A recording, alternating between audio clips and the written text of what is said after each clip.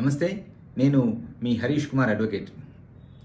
ఈరోజు criminal case complaint నుంచి FIR నుంచి జడ్జిమెంట్ వరకు ఏమేమి ఉంటుంది ప్రక్రియ ఏ ఎలాంటి స్టేజెస్ ఉంటాయనే విషయాన్ని తెలుసుకుందాం. ఏదైనా ఒక నేరం జరిగినప్పుడు మొట్టమొదటగా పోలీస్ స్టేషన్లో కంప్లైంట్తో దీని ఇన్వెస్టిగేషన్ అనేటువంటిది స్టార్ట్ అవుతుంది. ఒక నేరం గురించి పోలీస్ స్టేషన్కి వెళ్ళి కంప్లైంట్ చేసినప్పుడు ఆ కంప్లైంట్ను జనరల్ డైరీ జీడీ అని ఉంటుంది పోలీస్ స్టేషన్లో. అది ప్రతిదీ కూడా జనరల్ డైరీలో ఎంట్రీ చేయాలి. ఆ జనరల్ డైరీలో ఎంట్రీ చేసిన తర్వాత ఆ నేరం కనుక కాగ్నిజబుల్ అంటే తీవ్రమైనటువంటిది కనుక అయినట్టయితే దాన్ని వెంటనే ఎఫ్ఐఆర్ చేయాల్సి ఉంటుంది. సిఆర్పిసి వన్ ఫిఫ్టీ ఫోర్ ప్రకారంగా ఎఫ్ఐఆర్ చేయాల్సి ఉంటుంది. దాన్నే ఫస్ట్ ఇన్ఫర్మేషన్ రిపోర్ట్ అంటాం. అంటే అది ఆ నేరానికి సంబంధించి మొట్టమొదటగా వచ్చినటువంటి ఇన్ఫర్మేషన్ కాబట్టి దాన్ని ఫస్ట్ ఇన్ఫర్మేషన్ రిపోర్ట్ అంటాం. ఆ రిపోర్టు రిజిస్టర్ చేసి దానికి ఒక నంబర్ ఇవ్వడం జరుగుతుంది.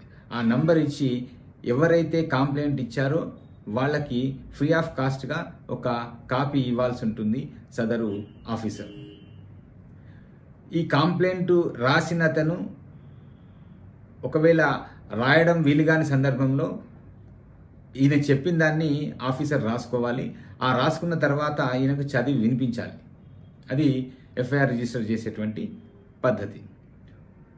ఒకవేళ అది తీవ్రమైనటువంటి నేరం కాదు. చిల్లర కేసు పెట్టి కేసు. అట్లాంటిదైతే ఈ దీన్ని ఈ కంప్లైంట్ను ఫస్ట్ క్లాస్ మెజిస్ట్రేట్ దగ్గరికి పంపించి ఆయన పర్మిషన్తోనే ఇన్వెస్టిగేషన్ చేయాల్సి ఉంటుంది. ఇది CrPC section one fifty five కింద. ఖచ్చితంగా మెజిస్ట్రేట్ పర్మిషన్ అయితేనే ఆ కేసులో ముందుకు వెళ్ళడం జరుగుతుంది. అదే తీవ్రమైనటువంటి నేరము ఎఫ్ఐఆర్ రిజిస్టర్ అయిందంటే కనుక ఆ ఆఫీసరు ఇన్వెస్టిగేషన్ ఆఫీసరు ఇమ్మీడియట్గా విచారణ ప్రారంభించవచ్చు ఈ విచారణ ప్రారంభించడం అంటే ఎఫ్ఐఆర్ రిజిస్ట్రేషన్ చేసిన తర్వాత ఏం చేయాలి? ఎక్కడైతే నేరం జరిగిందో ఆ నేర స్థలానికి వెళ్ళడం. సీన్ ఆఫ్ అఫెన్స్ అంటాం దాన్ని. ఆ సీన్ ఆఫ్ అఫెన్స్లో నేరం ఎలా జరిగింది ఎక్కడ జరిగింది ఏ విధంగా జరిగింది ఏమన్నా ఆయుధాలు వాడడం జరిగిందా లేకపోతే వాహనాలు ఉంటే కనుక ఆ వాహనాల కొల్యూజన్ ఎట్లా జరిగింది ఏ వైపు నుంచి ఏ వాహనం వచ్చింది లేకపోతే నిందితుడు ఏ వైపు నుంచి వచ్చిండు అక్కడ జరిగినటువంటి గాయాలు ఏంది వాడినటువంటి ఆయుధాలు ఏంటి అనేటువంటిది ఆ సీన్ ఆఫ్ అఫెన్స్లో ఉంటుంది. అక్కడ ఇద్దరు పంచులను సాక్షులను ముందు ఆ సీన్ ఆఫ్ అఫెన్స్ అనేటువంటిది డ్రా చేయడం జరుగుతుంది. ఆ ఇద్దరు పంచుల డీటెయిల్స్ కూడా తీసుకోవడం జరుగుతుంది అక్కడ. ఆ ఇద్దరు పంచులు తర్వాత అక్కడ నేరము జరిగినటువంటి తీరును ఆ సీన్ ఆఫ్ అఫెన్స్ పంచనామం వివరిస్తుంది. ఆ తర్వాత ఆ కంప్లైంట్ ఇచ్చిన సందర్భంగా లేదా అక్కడ సీన్ ఆఫ్ అఫెన్స్లో ఉన్న వ్యక్తులు అక్కడ ప్రత్యక్ష సాక్షులు కావచ్చు అక్కడ ఉన్నటువంటి సాక్ష్యాధారాలతో సహా ప్రత్యక్ష సాక్షులు ఉంటే ప్రత్యక్ష సాక్షులు లేదా సందర్భానుసారంగా సర్కమస్టాన్షియల్ ఎవిడెన్స్ హియర్సే ఎవిడెన్స్ చెప్తే వినడం లేకపోతే ఆ సందర్భానుసారంగా ఎవరు ఎక్కడి నుంచి వచ్చినారు ఎవరు ఎక్కడి నుంచి వచ్చినటువంటి ఒక చైన్ ఉంటుంది కదా ఆ యొక్క ఎవిడెన్సెస్ ఎవరెవరు ఉన్నారు వాళ్ళందరి స్టేట్మెంట్స్ కూడా రికార్డ్ చేస్తారు. దాన్ని వన్ సిక్స్టీ వన్ స్టేట్మెంట్స్ అంటాం. ఈ వన్ సిక్స్టీ వన్ స్టేట్మెంట్స్ తర్వాత సీన్ ఆఫ్ అఫెన్స్ పంచనామా. ఒకవేళ కనుక అక్కడ శవం కనుక ఉంటే హత్య లాంటిది జరిగినప్పుడు దాన్ని ఇంక్వెస్ట్ పోస్ట్ మార్టం ఈ పోస్ట్ మార్టం రిపోర్టు రిపోర్టు చేసినటువంటి డాక్టర్ ఎవరు చేశారు? ఏ విధమైనటువంటి గాయాలైనవి ఆ మరణానికి కారణాలు ఏంటి ఇవన్నీ కూడా రిపోర్ట్లో ఉంటాయి. ఈ ప్రత్యక్ష సాక్షులు సందర్భానుసారంగా దొరికినటువంటి సాక్ష్యాలు అక్కడ సీన్ ఆఫ్ అఫెన్స్లో సీజ్ చేసినటువంటి ఆయుధాలు లేకపోతే ఆ తర్వాత ఇన్వెస్టిగేషన్లో భాగంగా దొరికినటువంటి ఆయుధాలు దొరికినటువంటి సాక్ష్యాలు వీటన్నిటినీ సంగ్రహించి ఆ ఆయుధ ఆ యొక్క ఆధారాల ప్రకారంగా ఎవరైతే అనుమానితులు ఉన్నారో వాళ్ళు నిందితుల కాదా అనేటువంటిది తేల్చేటువంటి ప్రక్రియ జరుగుతుంది. ఈ ఇవన్నీ క్రోడీకరించిన తర్వాత అనుమానితులుగా ఉన్నటువంటి వాళ్ళని నిందితులుగా చేర్చి దాని యొక్క అన్నిటి యొక్క సారాంశాన్ని వాటి యొక్క సాక్షుల యొక్క చెప్పినటువంటి సాక్ష్యాల ఆధారంగా ఆ నిందితుడి మీద ఛార్జెస్ ఫైల్ చేయడం అభియోగాలను మోపడం. దాన్నే మనము ఛార్జ్ షీట్ అంటాం. ఆ ఛార్జ్ షీట్ను ఫైల్ చేస్తే కోర్టు ముందు ఫైల్ చేయడం దాన్ని ఈ ఆధారాల సంగ్రహమే ఛార్జ్ షీట్గా ఫైల్ చేయడం. ఒకవేళ ఈ ఎన్ని ఆధారాలు కూడా ఆ నిందితుడు ఆ నేరం చేయలేదు అని అనుకున్నప్పుడు క్లోజర్ రిపోర్ట్ ఫైల్ చేస్తారు. అంటే ఆ నేరాన్ని క్లో ఆ నిందితుడికి అగనెస్ట్గా క్లోజ్ చేస్తున్నట్టుగా ఆ నిందితుడు చేయలేదు అనేటువంటి విధంగా అక్కడ నేరం జరగలేదు అనేటువంటి విధంగా క్లోజర్ రిపోర్ట్ ఫైల్ చేస్తారు. ఒకవేళ నిందితుడు చేశాడు అనేటువంటి ఆధారాలు దొరికినప్పుడు ఫైల్ చేసేదే ఛార్జ్ షీట్. ఇప్పుడు ఈ ఛార్జ్ షీట్ కంటే ఈ ఆధారాల సేకరణలో భాగంగా ఒక నిందితుడు కనుక చేసిండు ప్రైమా ఫేసి దొరికింది. ప్రాథమిక సాక్ష్యాధారాలు ఉన్నాయనుకున్నప్పుడు అతడి మీద సెవెన్ ఇయర్స్ లోపు కనుక శిక్ష ఆ నేరానికి సంబంధించింది అనేటువంటిది అయితే ఫార్టీ వన్ ఇయర్స్ సిఆర్పిసి కింద నోటీస్ ఇస్తారు. నోటీస్ ఇచ్చి ఇన్వెస్టిగేషన్ ఆయనను ఇన్వెస్టిగేషన్ చేయడం జరుగుతుంది. ఆయనకు స్టేషన్ బెయిల్ ఇవ్వాలి సుప్రీంకోర్టు జడ్జిమెంట్ ప్రకారంగా. ఇట్లాంటి కేసుల్లో కూడా ఒకవేళ నిందితుడు సహకరించక ఆధారాలను రూపుమాపుతున్నాడు లేకపోతే తప్పించిపోయేటువంటి అవకాశాలు ఉన్నాయి హ్యాబిచువల్ అఫెండరు అనుకున్నప్పుడు రిమాండ్కు కూడా తరలించేటువంటి అవకాశం ఉంటుంది పోలీసులకు. రిమాండ్కు తరలించిన తర్వాత సహజంగా బెయిల్ అప్లికేషన్స్ ఫైల్ చేయడము బెయిల్ వచ్చిన తర్వాత షూరిటీస్ ఫైల్ చేయడము జరుగుతుంది. ఒకసారి ఈ ఛార్జ్ షీట్ అనేటువంటిది ఫైల్ చేసిన తర్వాత ఈ ఎప్పుడైతే ఈ బెయిల్ తీసుకొని వెళ్ళాడో అది పోలీస్ స్టేషన్ బెయిల్ కావచ్చు లేదా రెగ్యులర్ రిమాండ్ బెయిల్ కావచ్చు. ఈ బెయిల్ తీసుకొని వెళ్ళి అక్యూజ్డ్ వెళ్ళిపోయిన తర్వాత ఛార్జ్ షీట్ ఫైల్ చేసిన తర్వాత కోర్టు ఒక పర్టిక్యులర్ టైం ఇస్తుంది డేట్ ఇస్తుంది కోర్టు ముందు అటెండ్ కామని చెప్పేసి. అదేవిధంగా ఈ ఛార్జ్ షీట్ ఏదైనా టైం లిమిట్ ఉందా? మరి ఎప్పటి వరకు ఫైల్ చేసుకోవచ్చు? నెల రోజుల్లో ఫైల్ చేయాలా? ఆరు నెలల్లో ఫైల్ చేయాలా? సంవత్సరంలో ఫైల్ చేయాలా? ఒక టైం లిమిట్ అనేది ఉండాలి కదా ఇన్వెస్టిగేషన్కు. దానికోసము ఈ జూనియర్ ఫస్ట్ క్లాస్ మెజిస్ట్రేట్ దగ్గర ట్రయల్ జరిగేటువంటి కేసులన్నిటి కూడా సిక్స్టీ డేస్ లోపల ఇన్వెస్టిగేషన్ పూర్తి చేసి ఛార్జ్ షీట్ ఫైల్ చేయాలి. అదేవిధంగా సెషన్స్ కేసు అయితే కనుక సెషన్స్ కేసులో జిల్లా కోర్టుల్లో మాత్రమే ట్రయల్ చేసేటువంటి కేసులు ఏవైతే ఉంటాయో అది త్రీ నాట్ సెవెన్ కావచ్చు త్రీ నాట్ సిక్స్ కావచ్చు త్రీ నాట్ టూ కావచ్చు ఇట్లాంటి తీవ్రమైనటువంటి నేరాలు రేపు కావచ్చు ఇవన్నీ నేరాలకు సంబంధించి జిల్లా కోర్టులో ట్రయల్స్ జరుగుతాయి. ఈ జిల్లా కోర్టులో ట్రయల్స్ జరిగేటువంటి సెక్షన్స్ నైంటీ డేస్లో ఛార్జ్షీట్ ఫైల్ చేయాల్సి ఉంటుంది. తొంభై రోజులలో ఛార్జ్షీట్ ఫైల్ చేయాలి. ఈ ఛార్జ్ షీట్ వేసిన తర్వాత మళ్ళీ కోర్టు దాన్ని క్రైమ్ నుంచి సీసీగా మారుస్తుంది క్రిమినల్ కేసుగా. అంటే ఇంతకుముందు మనం అనుకున్నాం రిమాండ్ బెయిల్ అని చెప్పేసి. అది పోలీస్ స్టేషన్ బెయిల్ అయినా లేకపోతే రిమాండ్ తర్వాత జరిగినటువంటి బెయిల్ అయినా కూడా ఆ బెయిల్ తర్వాత అంటిల్ ఛార్జ్ షీట్ ఫైల్ చేసేంత వరకు కోర్టు నుంచి ఎట్లాంటి ఇన్ఫర్మేషన్ ఉండదు మనకు నిందితుడికి. ఆ యొక్క నిందితుడికి పర్టిక్యులర్ డేట్ రోజు అటెండ్ కమ్మని చెప్పేసి ఛార్జ్ షీట్ ఫైల్ చేసిన తర్వాత కోర్టు ఒక సమన్ పంపిస్తుంది. ఆ సమన్ రో తీసుకున్న తర్వాత ఆ పర్టికులర్ డేట్ రోజు ఈ కోర్టులో అటెండ్ కావడం జరుగుతుంది.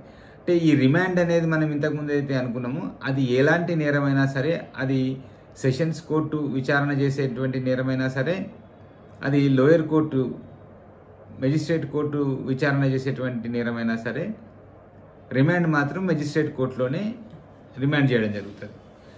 ట్రయల్ మాత్రం అక్కడ బెయిల్ అయినా ట్రయల్ అయినా ఏ కోర్టులో జిల్లా కోర్టు విచారణ జరిపించేదైతే జిల్లా కోర్టులో బెయిల్ పిటిషన్ వేసుకుంటాం. లోయర్ కోర్టులో విచారణ జరిపేదైతే లోయర్ కోర్టులో చేసుకుంటాం అదేవిధంగా ఈ ఛార్జ్ షీట్ ఫైల్ చేసిన తర్వాత ఒకవేళ జిల్లా కోర్టుకు సంబంధించినటువంటి నేరం అయితే గనక అక్కడ అక్యూజ్డ్ని కమిటల్ బాండ్ తీసుకొని జిల్లా కోర్టుకు ఆ- ఆ కేసును పంపించడం జరుగుతుంది. ట్రయల్ కోర్ట్ ఇక్కడ లోయర్ కోర్ట్ అయితే కనుక అక్కడే విచారణ జరుగుతుంది. ఈ సమన్ ఇచ్చిన తర్వాత అక్యూజ్డ్ ప్రజెంట్ అయిన తర్వాత అక్కడ ఆయన దగ్గర బాండ్స్ ఏదైనా పర్సనల్ బాండ్స్ తీసుకున్న తర్వాత అతడికి ఆ కేసుకు సంబంధించినటువంటి పేపర్స్ అన్నీ ఇవ్వడం జరుగుతుంది. ఆ సాక్ష్యాలు one sixty one statements sheet papers FIR copy complaint copy అన్నీ కూడా కేసు పేపర్లు ప్రతి పేపరు ఆయనకి కోర్టు ఇవ్వడం జరుగుతుంది. అది ఇచ్చిన తర్వాత ఎగ్జామినేషన్ ఉంటుంది. ఆ నిందితుడు నేరాన్ని చేశాడా లేదా అని కోర్టు అడుగుతుంది. అడిగినప్పుడు ఒకవేళ ఒప్పుకుంటే అతనికి దానికి సంబంధించినటువంటి శిక్ష విధించడం జరుగుతుంది. ఒకవేళ ఒప్పుకోకపోతే డినై చేసినట్టయితే ఆ ఎగ్జామినేషన్ని తర్వాత జరిగేటువంటి ప్రక్రియని ట్రయల్. ఈ ట్రయల్ అంటే కేసు నడు కేసును విచారణ ప్రారంభమవుతుంది అనమాట అది విచారణ ప్రారంభమైన తర్వాత అప్పుడు ఏదైతే ఈ ఛార్జ్ షీట్లో పేర్కొన్నామో ఛార్జ్ షీట్లో ఇన్వెస్టిగేటింగ్ ఆఫీసరు ఏమేమి ఎంక్వైరీ చేసిండు ఏమేమి సాక్ష్యాలను సేకరించిండు అది కంప్లైంట్ కావచ్చు ఎఫ్ఐఆర్ రిజిస్ట్రేషన్ కావచ్చు వన్ సిక్స్టీ వన్ స్టేట్మెంట్స్ అందులో ప్రత్యక్ష సాక్షులు సందర్భానుసారంగా సాక్షులు తర్వాత seizure panchnama post mortem report ఇవన్నీ కూడా దాంట్లో మెన్షన్ చేయడం జరుగుతుంది. వాళ్ళందరినీ కూడా ప్రాసిక్యూషన్ కోర్టు ముందు ప్రొడ్యూస్ చేయడం చేయడం జరుగుతుంది. కోర్టులో ప్రవేశపెట్టిన తర్వాత వాళ్ళను ప్రాసిక్యూషన్ చీఫ్ ఎగ్జామినేషన్ సమర్పిస్తుంది. చీఫ్ ఎగ్జామినేషన్ అంటే ప్రాసిక్యూషన్ చేసేటువంటిది చీఫ్ ఎగ్జామినేషన్. ఈ చీఫ్ ఎగ్జామినేషన్లో భాగంగా ఆ ఛార్జ్ షీట్లో ఎవరెవరి పేర్లు అయితే మెన్షన్ చేసినారో అన్ని రకాల సాక్షులు వాళ్ళందరినీ కూడా కోర్టు ముందు ప్రవేశపెట్టాల్సి ఉంటుంది. దాంట్లో ఈ ఇన్వెస్టిగే కంప్లైంట్ ఎఫ్ఐఆర్ సాక్షులు పోస్ట్ మార్టం చేసినటువంటి డాక్టరు సీన్ ఆఫ్ అఫెన్స్ పంచులు ఈ ఇన్వెస్టిగేషన్ అంతా పూర్తి చేసినటువంటి ఇన్వెస్టిగేటింగ్ ఆఫీసర్ను కూడా ఎగ్జామినేషన్ చేయడం జరుగుతుంది డిఫెన్స్ తరఫున ముద్దాయి తరపున లాయరు ముద్దాయి తరపున న్యాయవాది వీళ్ళందరినీ కూడా క్రాస్ ఎగ్జామినేషన్ చేస్తారు కంప్లైంట్ ఏముంది? దాంట్లో ఏమైనా పొరపాట్లు ఉన్నాయా? వాంటెడ్లీ కంప్లైంట్ ఇచ్చిండ్రా? ఎవరు ఇచ్చిండ్రు అది ఏదైనా తప్పుడు కంప్లైంటా? ఇవన్నిటిని కూడా ఎంక్వైరీ చేస్తారు.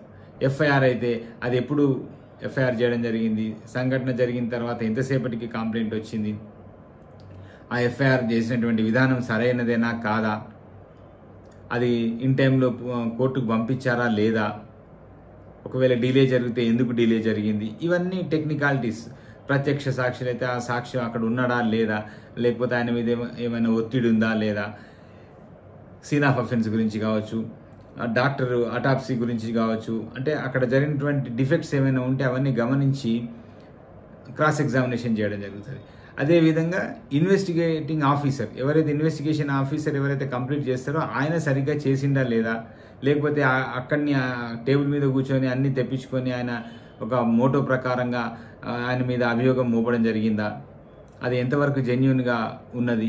ఇదంతా కూడా ట్రయల్లో బ్లాక్ అండ్ వైట్గా తేలిపోతుంది. అంటే ఆయన సాక్ష్యాధారాలను క్రాస్ ఎగ్జామినేషన్ చేసినప్పుడు వాళ్ళు ఈ క్రాస్ ఎగ్జామినేషన్లో భాగంగా ఆ నిందితుడికి అనుకూలంగా ఉందా సాక్ష్యాలు వ్యతిరేకంగా ఉన్నాయా అనేటువంటిది కోర్టుకు తెలిసిపోతుంది. ఈ తెలిసింది ఏ- పూర్తిగా ఎగ్జామినేషన్ తర్వాత సీజ్ చేసినటువంటి వెపన్స్ ఏమైనా ఉంటే వాటిని కూడా కోర్టు పరిశీలించడం జరుగుతుంది. ఆ వెపన్స్కు తర్వాత ఈ పోస్ట్ మార్టం రిపోర్టుకు సంబంధం ఉందా? ఆ గాయాలు ఎట్లయినాయి? ఆ గాయాలకు ఈ వెపన్స్ సరి అయినటువంటి విధంగా ఉన్నాయా? ఈ వెపన్తోని ఆ గాయాలు అవుతాయా లేదా? ఇవన్నీ కూడా క్రాస్ ఎగ్జామినేషన్లో బయటపడతాయి. ఈ క్రాస్ ఎగ్జామినేషన్స్ అన్నీ పూర్తయిన తర్వాత అప్పుడు రెండు వైపులా అటు ప్రాసిక్యూషన్ ఇటు డిఫెన్స్ న్యాయవాది ఆర్గ్యుమెంట్స్ వినిపించడం జరుగుతుంది. అంటే ప్రాసిక్యూషన్ ఏమో తాము సేకరించిన ఆధారాల ద్వారా ఇగో ఇదంతా నేరం జరిగిందని నిరూపించడానికి ప్రయత్నం చేస్తుంది. డిఫెన్స్ లాయరు ప్రాసిక్యూషన్ తప్పులు ఎన్ని ఉన్నాయి ఏ విధంగా ఫాల్స్ ఇన్వెస్టిగేషన్ జరిగిందని ఒకవేళ ఆ నిందితుడిని కాపాడేటువంటి అంశాలను అన్నింటినీ కూడా ఆర్గ్యూ చేయడం డిఫెన్స్ లాయర్ చేయడం జరుగుతుంది. ఈ విధంగా ఆర్గ్యుమెంట్స్ అన్నీ పూర్తయిన తర్వాత అప్పుడు రెండు వైపులా సాక్ష్యాలను పరిశీలించి కోర్టు తీర్పునిస్తుంది అదే జడ్జిమెంట్ ఒకవేళ ప్రాసిక్యూషన్కి అనుకూలంగా ఆధారాలు ఉన్నాయి వాదనలు ఉన్నాయి ఆ నిందితుడు నేరం చేశాడు అనుకున్నట్టయితే ఆ నేరం ఏ సెక్షన్ ప్రకారంగా నేరం జరిగిందో ఆ సెక్షన్ ప్రకారంగా శిక్షించడం జరుగుతుంది. ఒకవేళ ప్రాసిక్యూషన్ ప్రూవ్ చేయలేకపోయింది ఆ నిందితుడు నేరాన్ని చేయదగినటువంటి సాక్ష్యాలను సమర్పించలేకపోయింది అని డిఫెన్స్ లాయర్ కనుక ప్రూవ్ చేస్తే అతని పైన అభియోగాన్ని కొట్టివేసి ఆయనను విడుదల చేయడం జరుగుతుంది. ఇది ఒక క్రిమినల్ కేసులో కంప్లైంట్ నుంచి మొదలుకొని ఎఫ్ఐఆర్ నుంచి మొదలుకొని జడ్జిమెంట్ వరకు జరిగేటువంటి ప్రక్రియ.